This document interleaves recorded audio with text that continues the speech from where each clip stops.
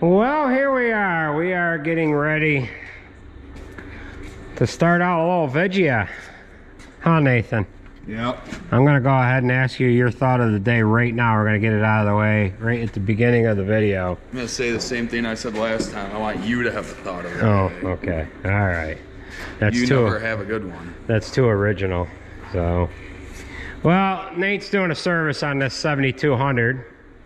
And the last time we seen this 7200 is when we put an exhaust manifold, uh, gaskets, and studs into it. And we had a stud that we broke off. Ah, right here. And what we did is we welded a stud in there, just regular cap screws that hold it. And so far so good as far as that not leaking. We also developed a leak back here on this V-band clamp. So far that's staying true. Uh, this is just in for an oil change and I thought I would just kind of glance at that quickly. So this is getting a service, mixer wagon's getting grease and whatnot. We're gonna start working on this little forklift.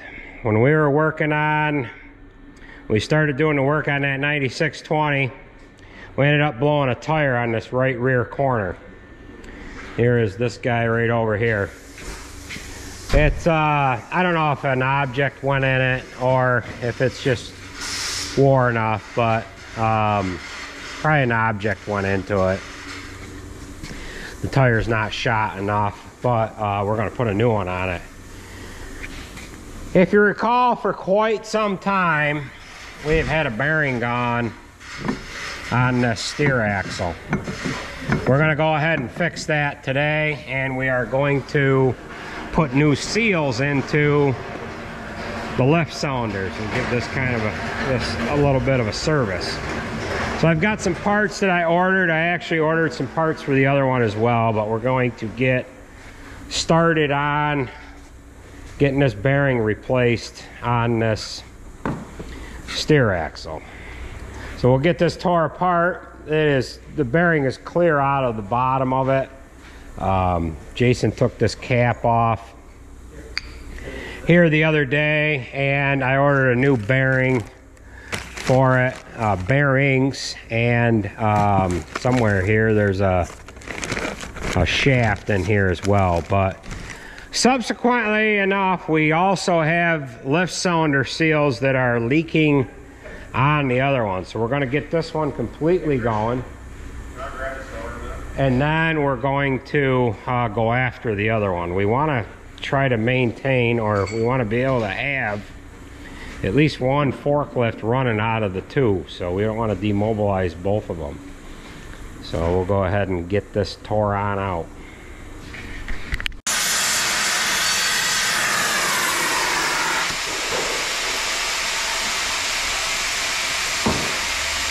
Good thing this doesn't have a fuel leak.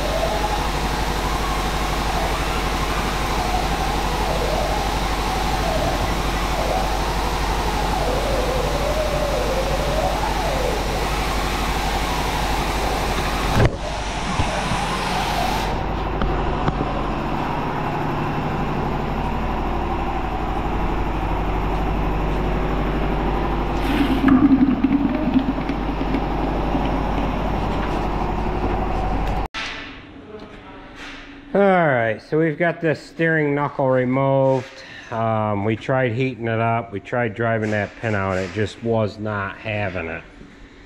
We've got the steering knuckle sitting on, uh, actually it's the wheel hub assembly, steering wheel hub assembly sitting over there. This is the pin that we had to remove. We just snipped the top of it, snipped the bottom, pulled the whole hub out. We've got new parts here. That hub assembly, spindle assembly here is no longer available. So what we're gonna do is we're gonna see if we can't drive that pin out. We should have a little better success doing it on the bench opposed to having it in the unit because we can hit it harder here on the bench.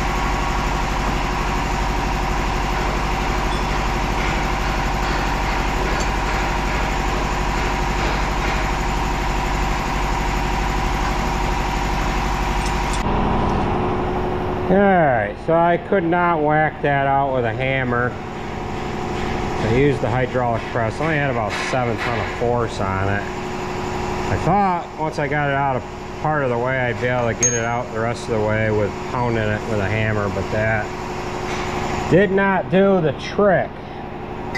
So we're gonna have to clean this guy up a little bit to get this pin to fit. There was gonna be no way that we were gonna be able to drive that pin out with it in the unit. I scored it up a little bit right here with a torch. We'll have to fill that in with weld, grind it down. I would have it would have been nice to have replaced this, but um, like I was saying, there was not one available.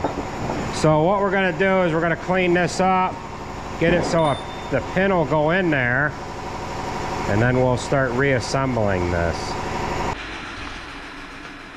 All right, we are fixing to get this thing back together. We've got a couple of races that I can't get out. I'm gonna weld a bead of weld around on the inside of them.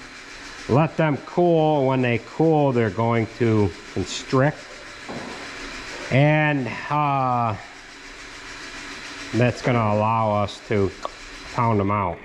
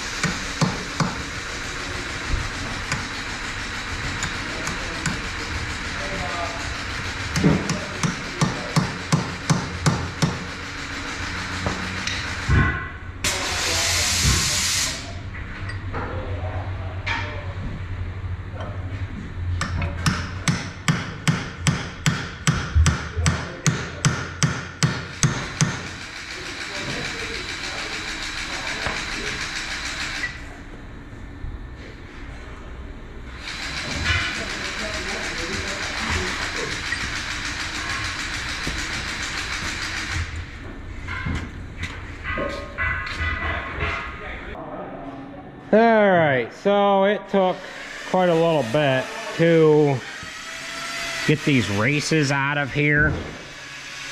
Here's part of that pin and bearing that we cut apart from the top. Um, here is the lower race. That was in there. We welded around it, and then when that um, cooled down, it shrunk it. The top one was a little bit of a bear to get out. So we're gonna try to get this back together with everything kind of wore out. The spindle was not available to buy, and it is war. It's war right there a little bit. We're just gonna get it back together and just keep pumping the grease to it.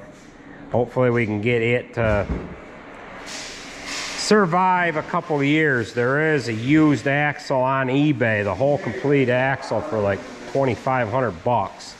I don't really want to pay that, but um, we might be forced to. So we'll go ahead and stuff this in there. We've got a new pin. We'll have to push this up through from the bottom. Get that lined up, get all of our bearings and seals and cups in there. And then get our wheel back on.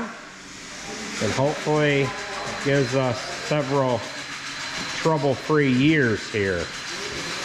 So let's go ahead and start reassembling.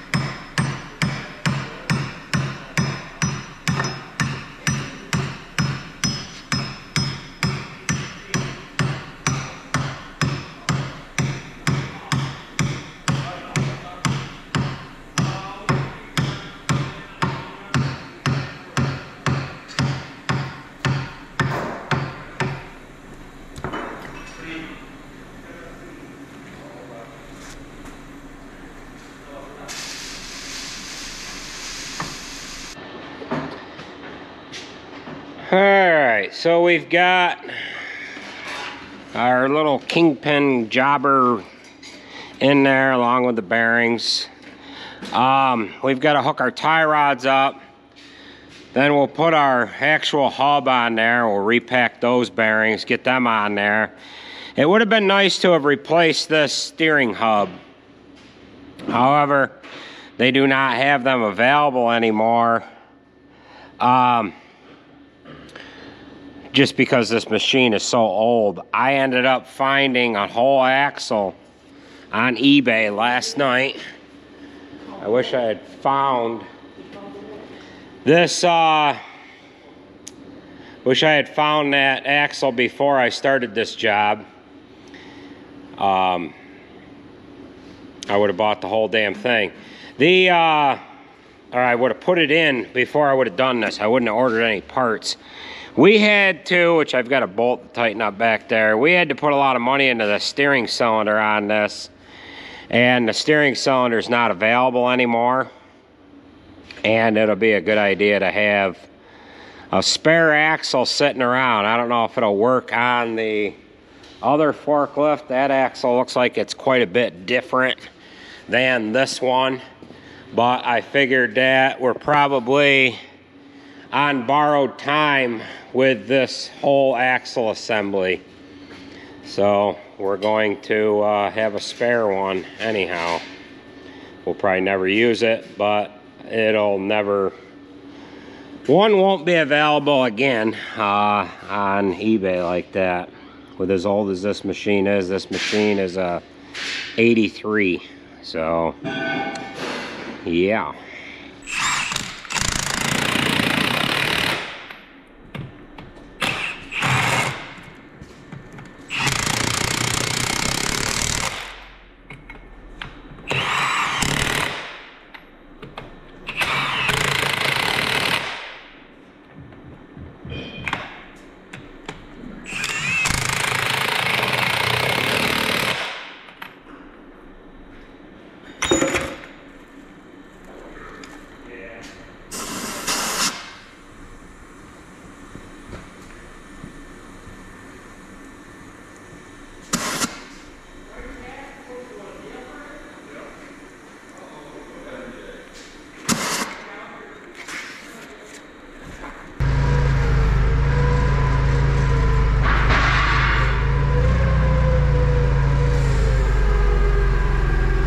They did buck off. Yeah, pull them blocks out.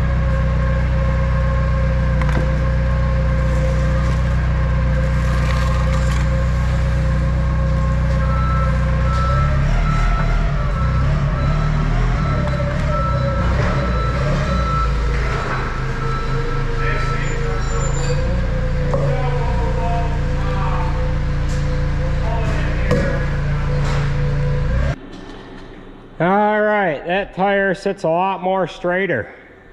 Before that was cocked just like that from that bearing being out on the bottom of that uh, steer cylinder. So we're gonna turn the wheel. I'm gonna see if I can get that castle nut to tighten up. If it can't, I'll just have to put a smaller cotter pin in there.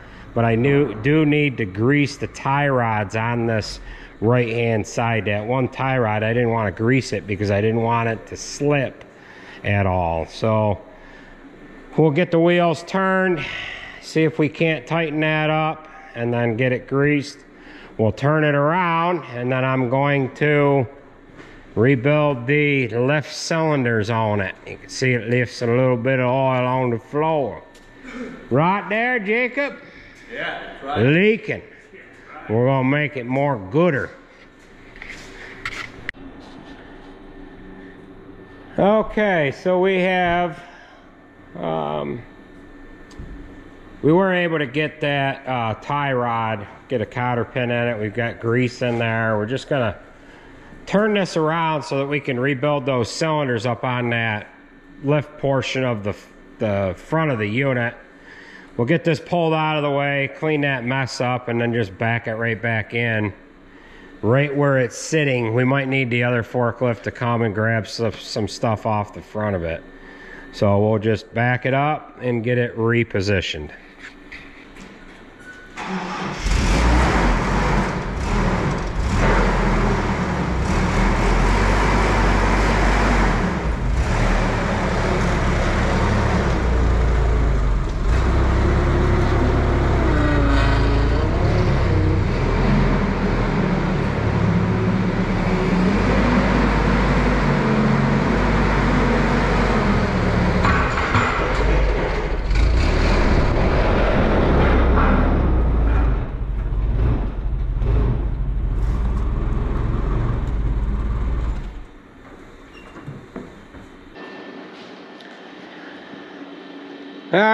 So we've got this forklift now turned around. And what we're going to do now is we are going to fix these hydraulic cylinders. One or both of them, actually both of them are leaking. So we got a new packing kit to put into both of those and then that'll seal up that unit and it'll keep this machine from leaking hydraulic oil all over the floor. That's one reason why. We bought this second machine and then this second machine came in very handy because we ended up blowing a tire on this one right in the middle of doing the wheels and whatever on that 9620. So when I bought this one here, this one had a small leak on the lift cylinders as well, and I figured that it's just a common thing with them, and um, we're going to get that one fixed. However, I did not want to break into fixing that one until we had a good time to work on it and not have use or uh, run out of having use of the machine. Being that we've got a second one here, we actually have a third one as well, but we don't use that 8,000 pound machine. That one needs to be just sold or and or sent to the scrap pile. This one here is a 1983. That one there is a 91. And the old yellow one that we have is a 63. Um, these green ones are real nice machines. They're, they're small enough, yet they're big enough to get jobs done around the shop. We can drive this one right through that narrow opening right there, being that we got junk in the way. We can get around things. We can get, you know, if this was over a little tighter. We've had things in here parked in this bay and we've been able to sneak around behind it. Whereas the little yellow one or the big yellow one, we wouldn't be able to do that. So we're gonna try to take the easiest approach to get these cylinders out. I don't know what it's gonna entail, but we're going to do our best to get these apart with minimal uh, tear down here. Um, it's looking like I can just take a bolt out of the top, uh, take the, the hold down bolt off the bottom and then just slide it to the side and pull it out. I'm not sure if that's going to work that easy, but we're going to go ahead and uh, we're going to get after it here. All right, so I ended up moving this forklift over to this side of the shop just so I could pull the gantry out. And what I've done is I have removed the bolts here from the top of this mast and I've lifted this up a little bit so that we can just send this chain around it hook it to the gantry and we can raise this mast up off the cylinders. Got a friend of mine that is retired from a company here locally that used to work on these. And I gave him a call this morning and I said, hey, uh, looks like this is a rather easy job. Do I have to do much to get these cylinders out? He said, no, you should be able to just put a block of wood under the mast, take your bolts out. Should be able to get the cylinders right out of there. So, that's what we're doing. We've got the bolts out from the top and then down in the bottom here it just sets onto a little tiny saddle. It looks like there's supposed to be a bolt that goes down over the top of that saddle. However, there is not. So we're gonna raise this up a little farther. Then we should be able to pull these cylinders right out the back. Um, there's a hydraulic hose hooked to the bottom. We're gonna have to release that first because it's not gonna let us get it out of there. We do have the machine running still. Um, but we'll shut it off. So we'll crack those JIC fittings loose and then we'll bring that cylinder out with the hose hooked to it Probably gonna have a mess of oil on the floor here. I have to get a splash bucket and uh, let that drain down into the bucket.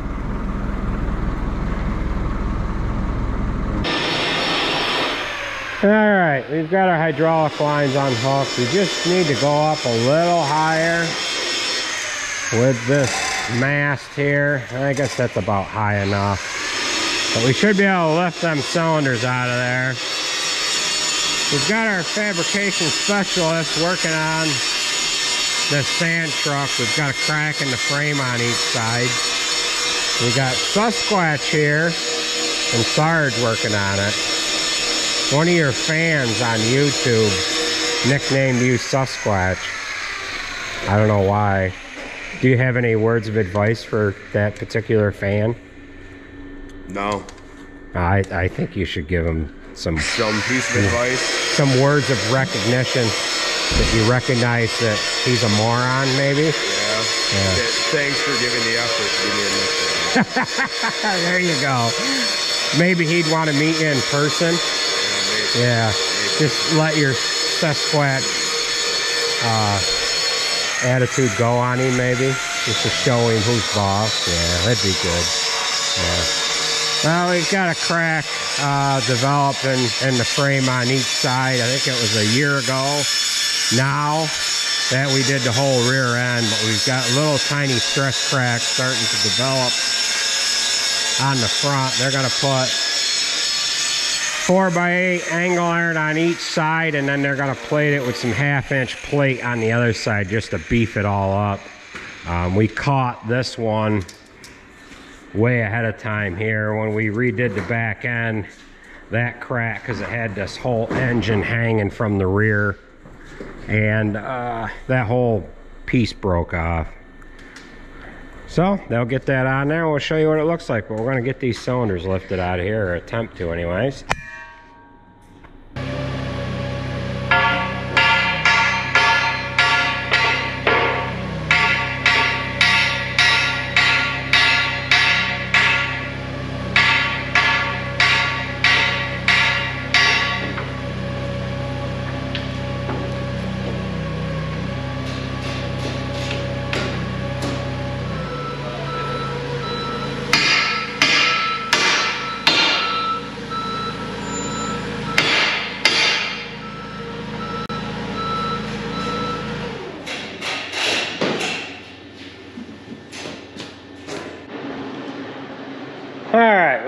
to get that cylinder out of there.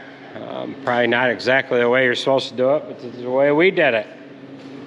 The boys have got their angle iron piece cut and ready to weld on to the underframe of this Mensch sand truck. They got a 4x8 angle cut and coped out to match the uh, different gussets that are on there, and then they're going to put a half inch plate on the other side, so they'll have a strong reinforcement of half inch material on there. Right there, Sasquatch? Right. oh boy. You all set to do some major welding. Where's your chair? You should have a chair for underneath that, shouldn't you? I'll be alright. You'll be all right. So, the last time we rebuilt a cylinder, the one to the payloader, everybody said, oh, I should hold it with the hydraulic press. Well, that cylinder might have been too big to hold with the hydraulic press in order to get the gland nut off of it. This is a smaller diameter cylinder, shouldn't take as much torque. Yes, this is a 50 ton press, but it doesn't have a lot of girth to it on the ground to absorb all that extra torque. Some of you watch Curtis and uh, you see that's the way he does it, but his press is a lot bigger. So we'll get a catch pail underneath this guy. We'll get our gland nut off. We'll just pull the rod right out. Uh, do the packings that we need up in this gland nut. And then there's O-rings on the bottom of this piston or the cylinder rod on the actual piston itself. That will refresh. We'll get that one back in there. And then we'll pull out the other one. When I originally looked at this, I had seen that there was a saddle it's just got a like a peg style piece on the cylinder. Uh, the hold down is on the far side underneath the yoke on that uh, curl back cylinder. So we've only got one on hook, one at a time. We'll use one to hold this from falling forward. We've got our hold down obviously off of this side. Once we get this cylinder done, we'll get it in there and then unhook uh, the other side. So we'll go ahead and see if we can't pound this guy here apart. And uh, we'll get a catch pail underneath it, collect all our oil, and get to rebuilding this.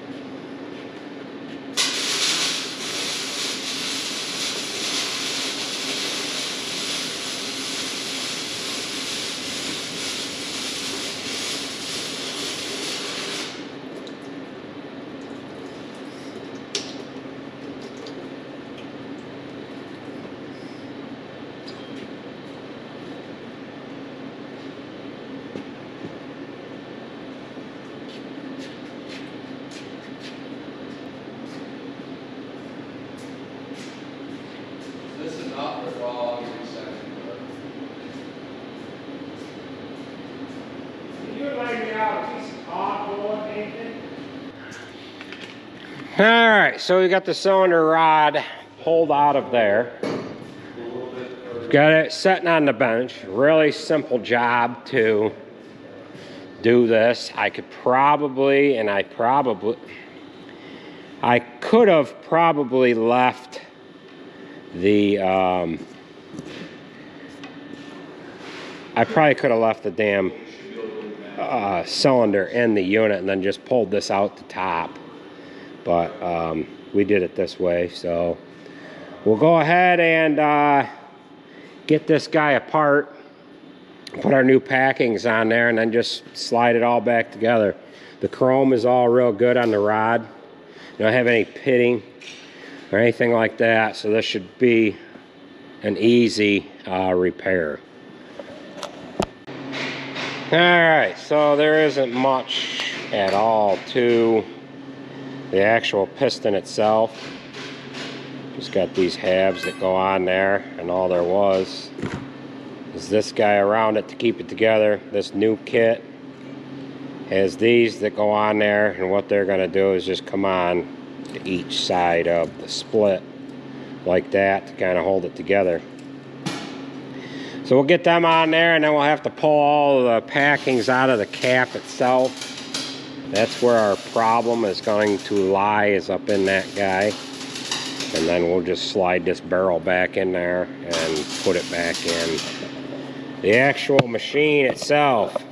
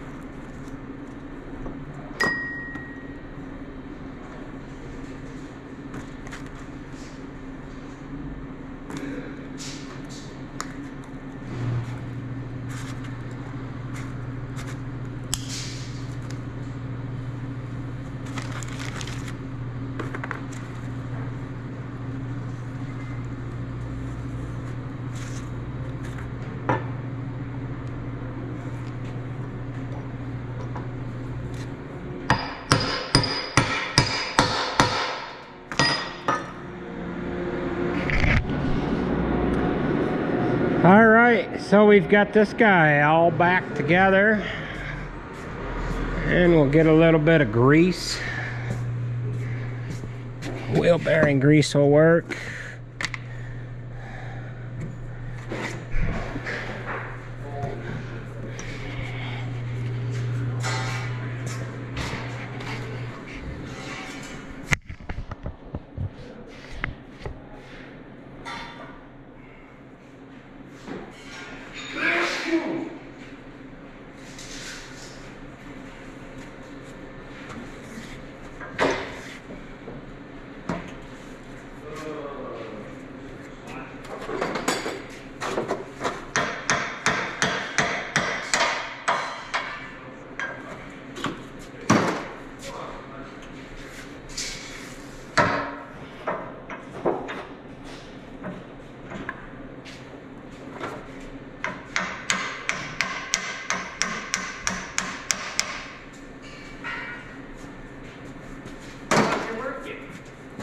She's a working. Yep, I'll be ready to set this right back in there in a hot minute. I will. Lift that way up and then plunk it down in there. Yeah. Mucho good. Hey, at least the black truck looks a lot better inside. It smells better. Smells better too. Yeah, lot of pizza in there. A lot of pizza. A lot of pizza. Damn. Yeah. What do you think there, Jacob Nuts? Huh? Don't I don't know. Um, watch it, you're standing right in the way. You make a better door than you do a window. Oh shit. Oh shit. you need to report again. We gotta document all this. If I don't show it getting done, they won't think it got done. All right. Hey, Danny, The camera. It makes good view for him. All right, now we're going to just set this right back on in there. Yeah. Was it bolt go down through on top? Yeah. Yeah, so we'll just take this over there.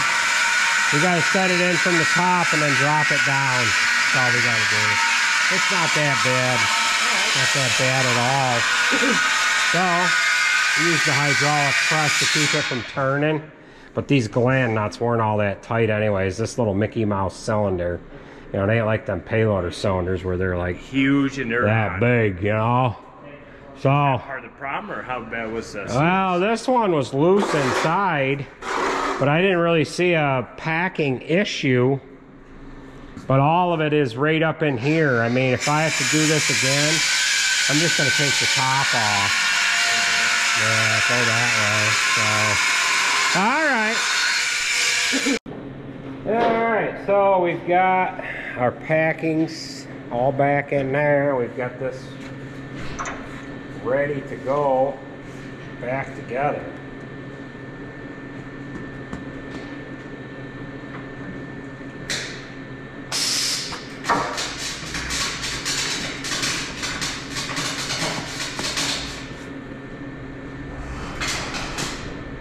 So we'll just release the uh, pressure off of this press. Now we just used that so we wouldn't it wouldn't turn on us at all, but I probably could have done this in the vise. But we wanted to make everybody happy and show them that, you know, we could use this same or do the same method that everybody has seen on the old YouTubes here.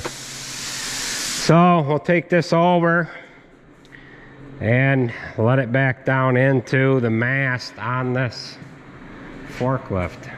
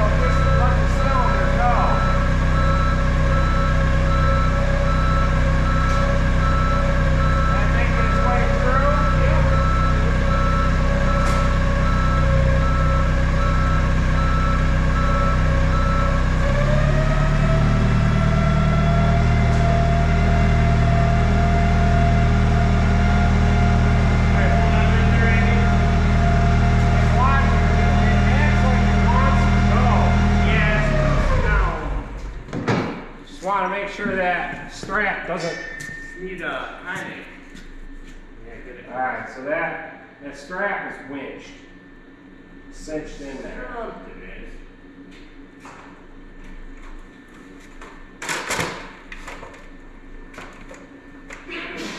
Okay, all right, now it's it's free again. Yeah, we got. All right, so Down with that. when that goes, that bottom has got to go your way. Yep, right in here. Yeah, and it should it should do that. Bottom going your way. Yeah, hold on right there, Andy. Sliding in the groove. Yeah. Go All going down. Yep. Right there. Should be saddled. He's in there. Dumps are fitting in the back. The fittings in. The front. Right, fitting was in the front. Yeah. Same as the others. that he said. That's the correct way. All right, now we'll cinch that. Take that strap off. Just pull it off the fork and I'll get the forklift out of there. Fucking fat. Cycling. Come out of there unless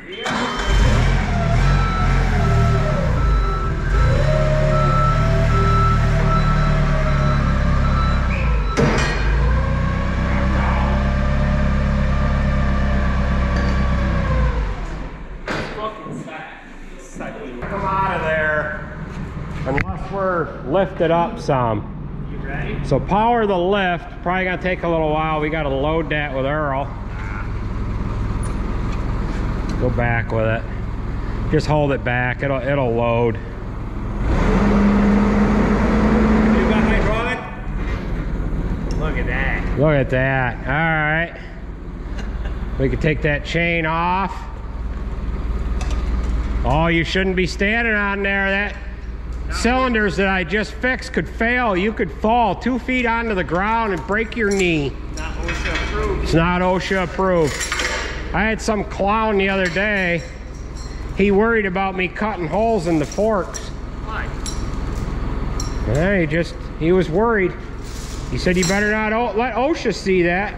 I said, it's not a, a an approved lifting device for, you know, for lifting overhead of people working underneath it. But oh well. Well, why don't we get this gantry out of the way? Pull that over there. Why don't you cycle that all the way to the top, Jay? long as them cylinders stay clean, that'll mean that she That's all the way. that's all the way up. All the way. All right. Back down. Yeah, you can go back down. We'll pick up the tools. We'll pull this one out of the way. We'll clean up the floor. We'll get the other one backed right up on in here. We're gonna do the same thing to the other one. Then what we'll do is we'll leave this all the way up overnight with a nice clean dry spot underneath it. See if it leaks. See if it mucho leaks. Right? All right. So that should conclude this job. Uh, we really don't know if the cylinders are Maybe on this side of the gate. uh, not leaking or not because we need to let it sit overnight. What it was doing is just ever so gently oozing out oil from the top. And then when it would do that, um, it would leave a big puddle on the floor. It would ooze up out of the rods. I really didn't see anything wrong with the packings other than that cylinder on the left side was real, real loose. Um, here's that inner packing, but it's it's hard to say. I mean, years and years of cycling could do it. So that is gonna do it for this video. And like typical fashion around here, as soon as we're ready or done, as soon as we think we're done with working on this forklift, we'll wash it because we'll want it clean to operate. We don't need it clean to work on. We just need it clean to operate, right?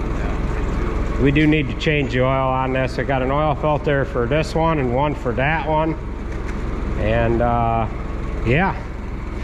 So the boys also have the frame job done on this bench. Sarge is just throwing some primer on it. They did a very nice job. We put some 4 by 8 by half angle iron on this outside. Then they snuck in down in below and they put a piece of half inch plate on the inside. And it worked very nicely because we're three by 10 box tube running as a frame rail and that uh, four by eight half inch angle iron left us a half inch lip that that leg laid down in on the bottom side of that uh, rectangular tube and then they were able to set their six inch flat bar on the inside. They stitch welded it put another cross member in there and this should last for another long while. How high do you want to go with put it all the way up. Looks like we got a clean dry spot on the floor we'll get him to go all the way up and we'll leave it overnight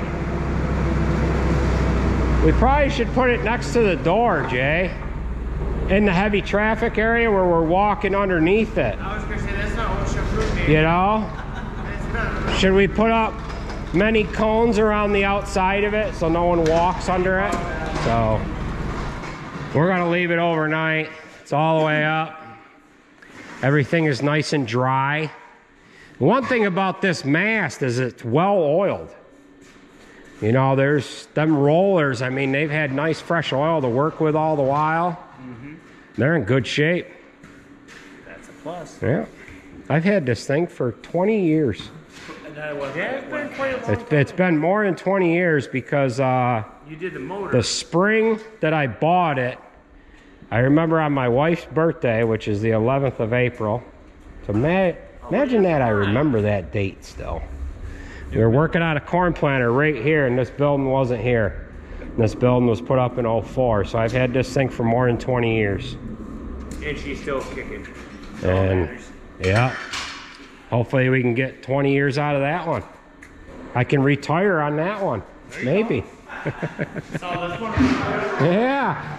All right, so we have the same thing to do to this one. And uh, this one I think is going to be a little more mucho harder. Maybe not. Nah, might be. Boy, it doesn't act like it's to come up out of the top there too easy.